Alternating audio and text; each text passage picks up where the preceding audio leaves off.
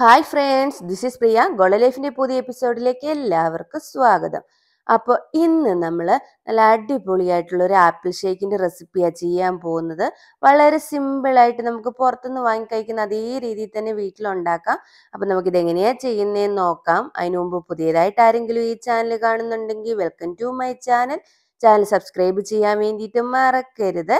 അപ്പോൾ നമുക്ക് വേഗം പോയിട്ട് റെസിപ്പി എങ്ങനെയാണ് ചെയ്യുന്നതെന്ന് നോക്കിയിട്ട് വരാം. ആപ്പിൾ ഷേക്ക് ഉണ്ടാക്കാൻ വേണ്ടിയിട്ട് ഒരാപ്പിൾ നല്ലതുപോലെ ഇത് തൊലി കളഞ്ഞ് ചെറിയ പീസായിട്ട് മുറിച്ചെടുക്കുക. ഇതിനെ നമുക്കൊരു മിക്സിയുടെ ജാറിലേക്ക് ഇട്ട് കൊടുക്കാം. പത്ത് ക്യാഷ് കെട്ട് ഇനി ഇതിലേക്ക് കുറച്ച് ഐസ് പീസ് ഇട്ട് കൊടുക്കുക. നിങ്ങൾക്ക് എക്സ്ട്രാ ഐസ് വേണമെങ്കിൽ മാത്രം ഐസ് ചേർത്ത് കൊടുത്താൽ മതി. ഇനി ഇതിലേക്ക് ഒരു രണ്ട് ടേബിൾ സ്പൂൺ അളവിൽ വാനില ഐസ്ക്രീം ചേർത്ത് കൊടുക്കാം. അതിന്റെ കൂടെ തന്നെ ഒരു മൂന്ന് ടേബിൾ സ്പൂൺ അളവിൽ പഞ്ചസാരയും കൂടി ഇട്ട് കൊടുക്കുക.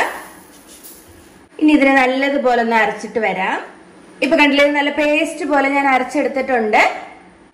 ഇനി ഇതിലേക്ക് നമുക്ക് ഫ്രീസ് ചെയ്ത പാൽ ഒഴിച്ചു കൊടുക്കാം. അപ്പൊ പാൽ നന്നായിട്ട് ഫ്രീസ് ചെയ്തതിന് ശേഷം എന്തെങ്കിലും വെച്ച് ചെറുതായിട്ട് കൊണ്ടൊന്ന് പൊടിച്ചിട്ട് വേണം ഇതിനകത്തേക്ക് ചേർത്ത് കൊടുക്കാൻ. കണ്ടെങ്കിൽ ഇതുപോലെ. ഇനി കുറച്ച് ബൂസ്റ്റും കൂടി ഇട്ട് കൊടുക്കുക ഒരു രണ്ട് ടീസ്പൂൺ അളവിൽ ഇട്ട് കൊടുക്കുക. ഇനി ഇതിനെ ഒന്നും കൂടെ ഒന്ന് അടിച്ചെടുക്കാം. പക്ഷെ വെള്ളം പോലെ ആയി പോകാൻ വേണ്ടി പാടില്ല. നല്ല തിക്കായിട്ടിരിക്കുന്ന രീതിയിൽ വേണം അടിച്ചെടുക്കാൻ.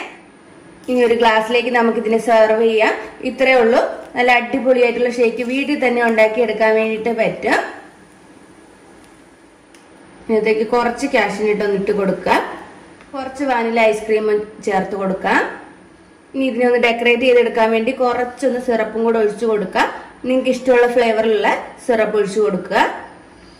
അപ്പൊ നിങ്ങൾ എല്ലാവരും ഈ റെസിപ്പി ഒന്ന് ട്രൈ ചെയ്തിട്ട് നോക്കുക. എന്നിട്ട് നിങ്ങളുടെ അഭിപ്രായങ്ങൾ കമന്റ് ബോക്സിൽ അറിയിക്കാൻ വേണ്ടിയിട്ട് മറക്കരുത്. അതിനോടൊപ്പം ഈ ചാനൽ ഒന്ന് സബ്സ്ക്രൈബ് ചെയ്തേക്കുക. സബ്സ്ക്രൈബ് ചെയ്യുമ്പോൾ തൊട്ടടുത്തായിട്ട് ഒരു കുഞ്ഞു ബെല്ലൈക്കൺ കൂടി വരും. അതൊന്ന് എനേബിൾ ചെയ്തേക്കുക. എന്നാൽ മാത്രമേ നോട്ടിഫിക്കേഷൻ വരത്തുള്ളൂ. മറ്റൊരു എപ്പിസോഡിലൂടെ വീണ്ടും കാണാം. ബൈ